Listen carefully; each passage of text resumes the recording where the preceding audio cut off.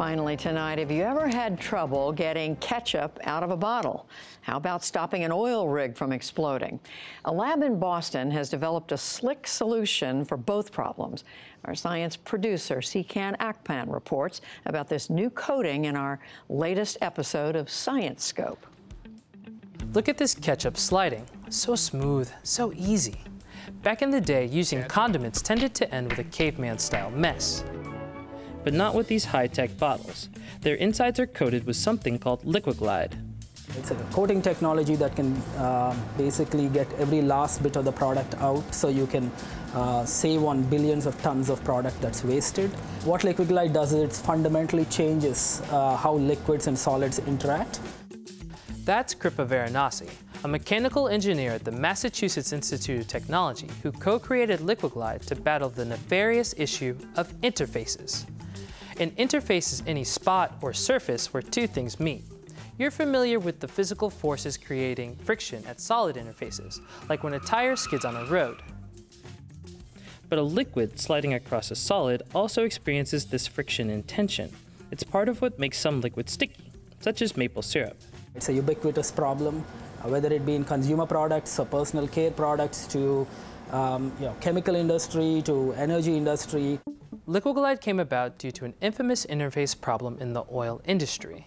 Drilling oil unearths all types of crud, mucky sediment, and minerals. This includes methane hydrate crystals, which can form molasses-like goop and plug a pipe.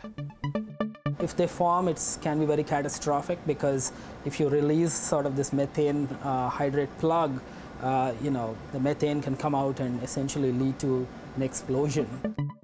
Kripa was mulling how to prevent these plugs from forming when a similar problem sprouted at home. And I, you know, at that time, my son was about a year old. My wife was trying to get honey out of a bottle, and uh, you know, uh, she said, you know, why don't you apply this technology to to, to bottles? Kripa knew a plastic surface, a glass surface, any solid surface for that matter, isn't truly smooth. It's covered with microscopic ridges and gaps. These pockets trap liquid and cause friction at interfaces. So Kripa and his former grad student Dave Smith chemically designed a liquid to intentionally experience so much friction it gets stuck in these pockets. This embedded liquid acts like a lubricant. Put ketchup in the bottle and it glides against the lubricant nanolayer, never coming in physical contact with the glass. Get it? Liquiglide. Then uh, we thought about how can we make this easily and sprayable Smith developed a formula that can predict and build coatings for any solid surface.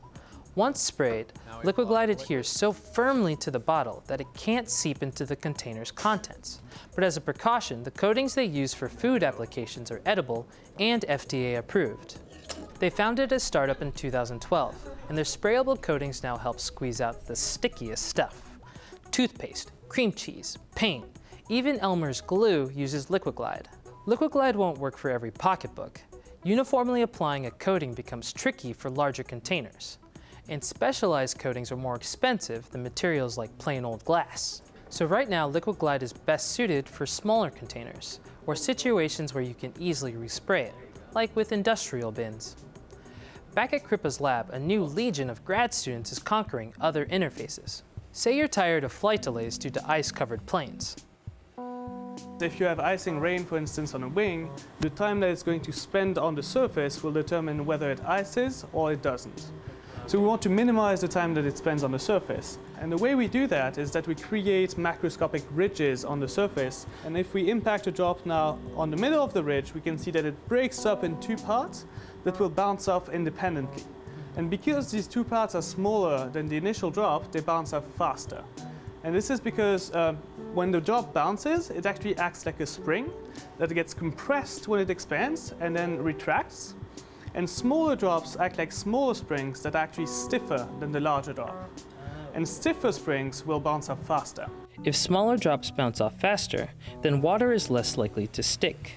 So covering a plane in these microscopic ridges could eliminate the toxic chemicals airlines currently use.